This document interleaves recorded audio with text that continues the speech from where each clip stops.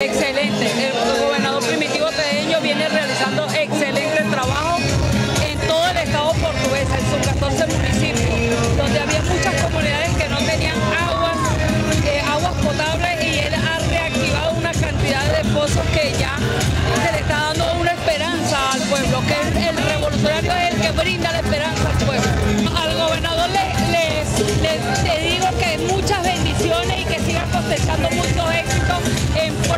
bienestar de los portugueseños. Y el presidente Nicolás Maduro, presidente, sígale, póntese en ese autobús porque usted lleva la victoria y aquí estamos los guanareños, los portugueseños,